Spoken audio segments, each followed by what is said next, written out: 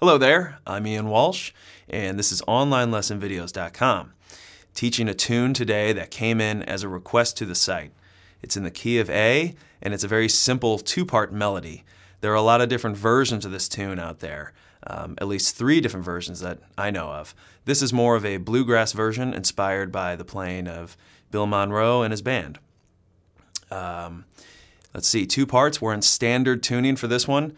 Right now, I'm going to give you a free sample of the tune Cotton Eye Joe. Hope you enjoy my version of it.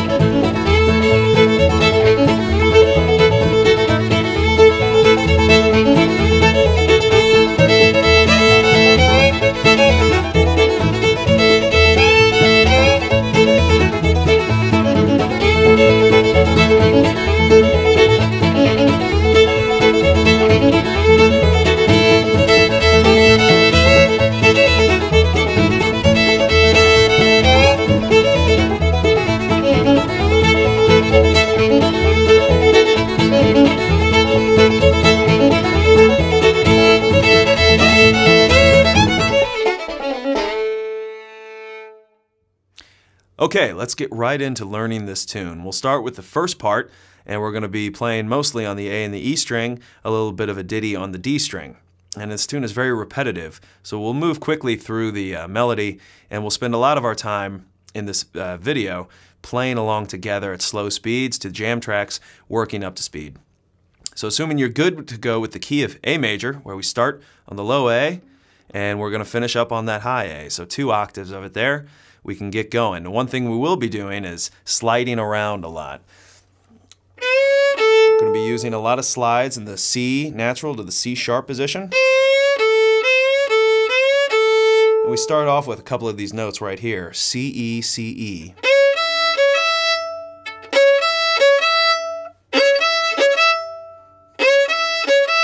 Okay, so pretty simple when you don't do anything else except for just play those notes. Down bow, up bow, down bow, up bow. Now we start making the sound a bit more blended. We just add a simple AE double stop. And I'm already starting to slide in a little bit for each note.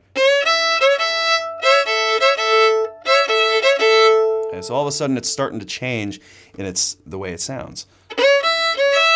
Our next little part is E, F, E. And what I like to do for that EFE, the first E, I come in with a down bow a little bit early. So it gives it this sound.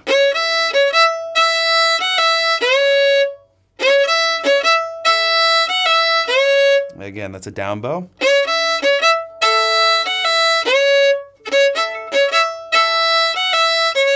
Okay, so we've got those simple notes. You're playing along with me hopefully.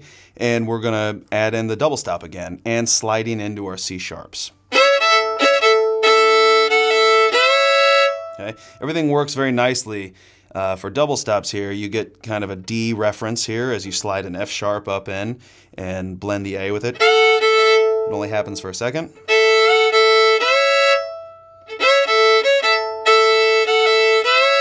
Okay, so let's set this to a, a, a tempo that I'll count us into nice and slow, and we can just cycle through it uh, about six times or so. We'll be starting right on the downbeat in that uh, starting sample. You heard me just kind of get the tempo, and uh, we can do that right now. One, two, three, four. And again.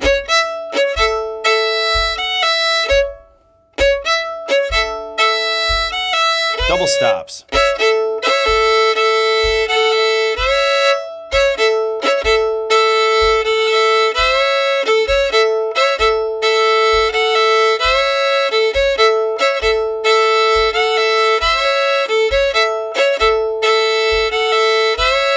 Okay, I'll go ahead and show you a couple more notes. This pretty much completes the, the first part of my version of this tune. We start on the A and a B.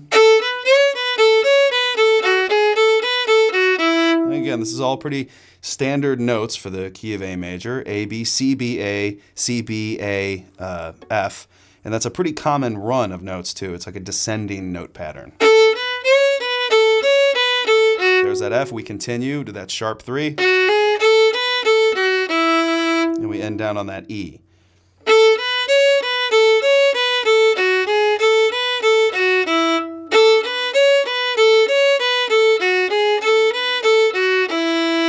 Okay, now we can add in our double stops. Here we go, A and E when you're playing on the A string. Now we switch when we're going to the D string for some notes. We're going to switch to the D and the A string. You don't have to do that. You, in fact, that gives it kind of a weird sound, I think, to leave down that um, G. So we're going to let off. You can do the D and the A, or you can move over Okay, let's cycle through what we have so far. I'm going to count us in. One, two, three, four.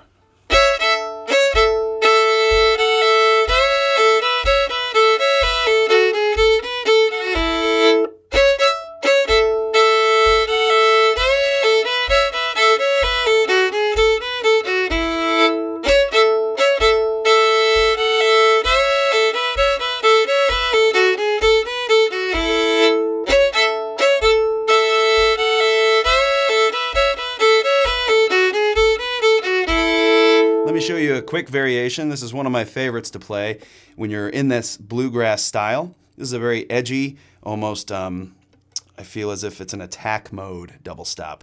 We're going to play a fifth. So play your C sharp and then play um, five notes up from it, and you're going to play that G in the sharp position. Play them together, it sounds very abrasive. So as you play your C sharps um, through the melody that we just learned, you can add in this double stop. Here's what it sounds like. Two and three and...